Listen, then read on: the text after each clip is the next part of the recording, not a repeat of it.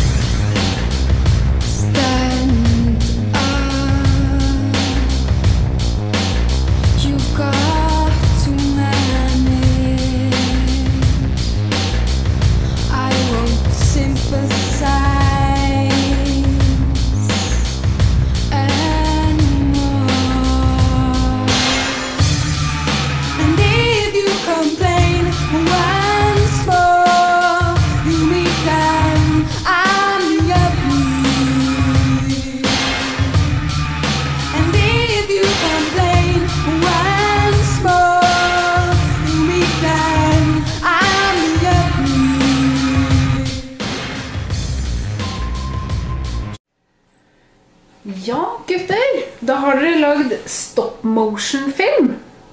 Hvordan syns dere det var? Jeg syns det var veldig morsomt. Ja. Og- Jeg syns det tok lang tid, men det var verdt det. Ja, det er faktisk verdt det. Morsomt er det også. Skoen, det var en finish, ikke sant? Ja, det var veldig morsomt. Uh... Men hva har, dere, har dere lært noe, eller? ja, faktisk. Jeg, jeg har jo lært at eh, når jeg har sett sånne stop motions-filmer, har jeg trodd at det har gått mye raskere enn det tar. Det tar faktisk veldig lang tid. Vi brukte Hvor lang tid brukte vi igjen? Var det ikke elleve timer nesten? Ja, det tok en Selve filmlagingen, bildene, det tok ikke så lang tid. Men å redigere til sammen, det tok en stund. Ja. Eh, Gutter, hva slags type bildeprogram brukte dere? Eh, Vi brukte et videoredigeringsprogram. som eh, eh, heter Fish and Chips. Nei, da, jeg har ikke anelse hva det heter. Gutta, eh, hva var kompetansemålene for denne oppgaven her? Mm, Det var egentlig at vi minst skulle klare fire minutter, men det tok skikkelig lang tid. Og vi beklager, Kristoffer, men vi har lagt mye kraft i dette her. Ja, som sagt så sa vi jo nettopp at det tok en god stund å lage dette. Så håper de to minuttene er eh, verdt, eh, verdt så lite.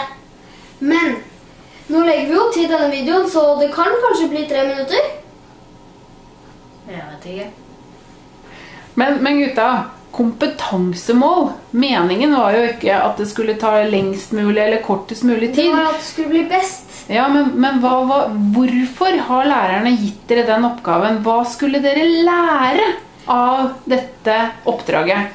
Først og fremst, istedenfor en samfunnsfagsprøve om vikingtida, hadde vi dette her, som å lage en powerpoint, eller som vi har gjort, animasjonsfilm, for å vise hva vi har lært om vikingtida.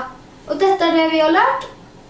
Ja, vi har lært mer enn Ja. dette, men Det var det beste vi klarte å trykke inn på eh, om slaget om Hafrsfjord. I det er ikke så enkelt som det ser ut som. Det har vi erfart. Mm. Er det noe annet dere har lyst til å fortelle seerne deres, gutter? Ja, en viktig ting. Aldri still det spørsmålet med Vetle i nærheten. Og for det andre, det ser mye lettere ut på YouTube og andre steder å lage en animasjonsfilm enn det egentlig er. Det er skikkelig vanskelig. Og jeg understreker skikkelig vanskelig. Men dere ser jo ut som dere har det ordentlig hyggelig sammen. Ja, Har ja vi har vi har det blitt mye bedre venner, og.